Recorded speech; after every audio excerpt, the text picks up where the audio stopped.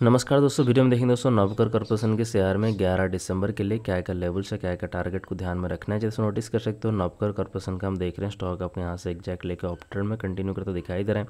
और अब यहाँ पे देख रहे हैं तो यहाँ से स्टॉक ने रेजिस्टेंस को ब्रेकआउट किया नेक्स्ट रेजिस्टेंस लाइन यहाँ पे तो इसको भी ब्रेकआउट किया है।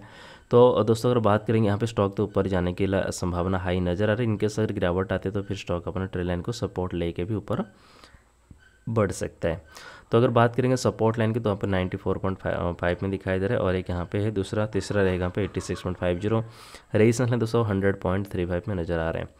तो दोस्तों वीडियो को लाइक कर दीजिए, चैनल को सब्सक्राइब करके बेल आइकन भी दबा लीजिए। स्टॉक में बाय सेल होल्ड करने की कोई भी सलाह सुझाव नहीं है। वीडियो एजुकेशन पर्पज़ में ही बनाया गया। धन्यवाद दोस्तों।